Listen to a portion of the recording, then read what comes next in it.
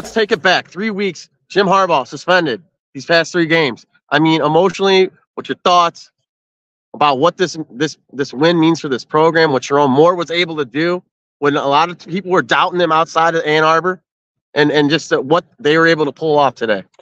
This was a fantastic victory. Fantastic.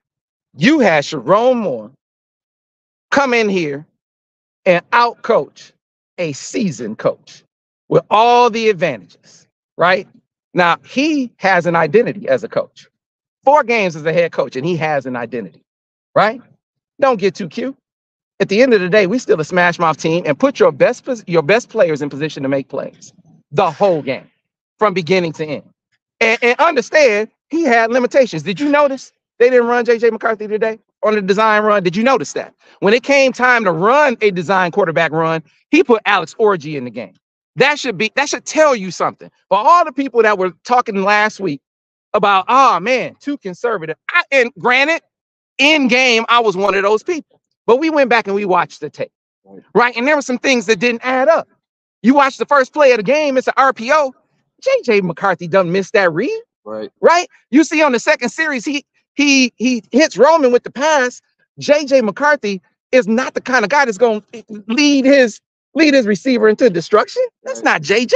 And then the next play is a shot play that people didn't see because they don't see the all 22. It's a touchdown, a play action pass touchdown. Now, why is JJ McCarthy missing these passes? Did, did, did it seem like out of the ordinary? It, it had to. And the reason why it was out of the ordinary, because the man was banged up. The man was banged up. You spend a week in treatment. I mean, how much practice are you really having? Right? And so you got to figure out a way to get out of there. Now, the onus was upon the coaches that even in a situation where your quarterback isn't playing well, how do you get him rhythm? And so you see how they came out of this out in this game. Immediately, you could see the objective. We're still gonna run this football, but we're gonna get our quarterback in rhythm. First two passes he threw were bad balls.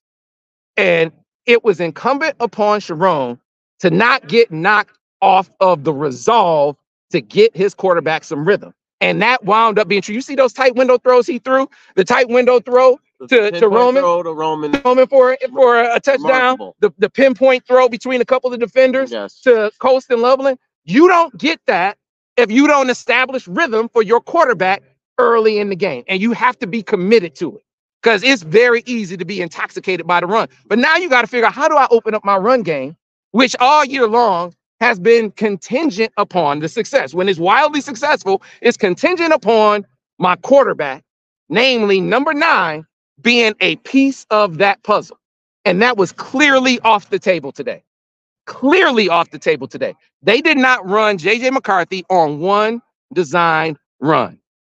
Think about that for a second. Yeah. That is a coach who says, I got to figure out a way. So he gets the Alex Orji thing going, right? Yeah. And rely and put your quarterback. Say, listen, the only time you're going to run is improv situations, right? We know those situations are going to come up, Mhm. but we aren't going to add to the equation by having by calling runs for you. And they still figured out a way. And the run of the day was after Zak Zinter goes down, one, one of the leaders of this team. Yeah. And that insert zone that he called, that pop for a touchdown, right after that, terrific call. Terrific call. Yeah.